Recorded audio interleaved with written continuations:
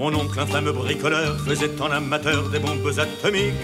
Sans avoir jamais rien appris, c'était un vrai génie, question pratiques.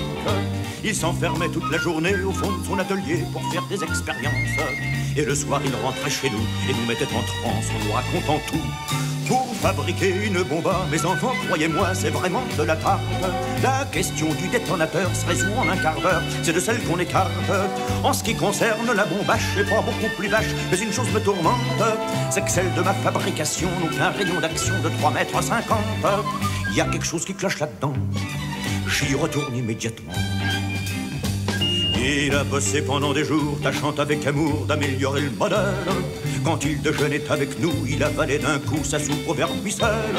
On voyait à son air féroce qu'il tombait sur un os, mais on n'osait rien dire.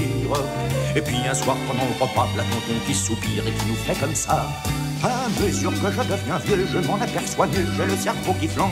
Soyons sérieux, disons le mot, c'est même plus un cerveau, c'est comme de la sauce blanche. Voilà des mois et des années que j'essaye d'augmenter la portée de ma bombe. Et je ne me suis pas rendu compte que la seule chose qui compte, c'est l'endroit où ce qu'elle tombe. Il y a quelque chose qui cloche là-dedans. J'y retourne immédiatement. Sachant proche le résultat, tous les grands chefs d'État lui ont rendu visite.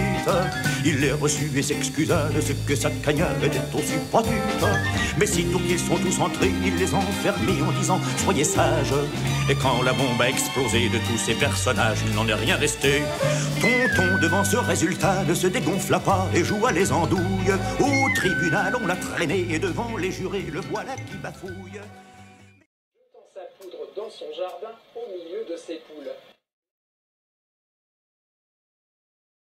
Messieurs, c'est un hasard affreux, mais je jure devant Dieu, quand mon âme est conscience, en détruisant tous ces tordus, je suis bien convaincu d'avoir servi la France. On était dans l'embarras, alors on le condamna, et puis on l'amnistia.